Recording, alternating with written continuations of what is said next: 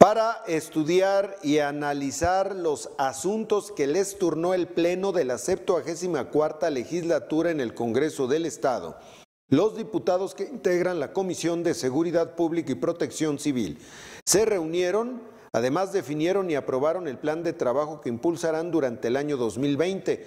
Lo dio a conocer el presidente de esta comisión, Humberto González. El legislador reconoció el respaldo y compromiso de sus compañeros de comisión y la suma de esfuerzos para sacar el trabajo que estaba pendiente de dictaminar.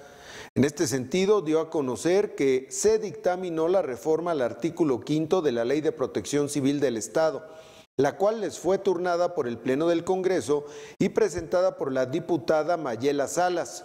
Otra de las propuestas dictaminadas, expuso Humberto González, fue la propuesta de acuerdo por la que el Congreso del Estado se pronunciará para que el titular del Poder Ejecutivo Federal trabaje de manera conjunta con el gobierno de los Estados Unidos de Norteamérica a fin de crear una política pública binacional que regule la venta de armas. Dicha propuesta, hay que destacarlo, fue presentada por el diputado Humberto González y durante el análisis y dictaminación de la misma, su homólogo Alfredo Ramírez manifestó su respaldo a la propuesta al subrayar la necesidad de que se regule la venta y distribución de armas.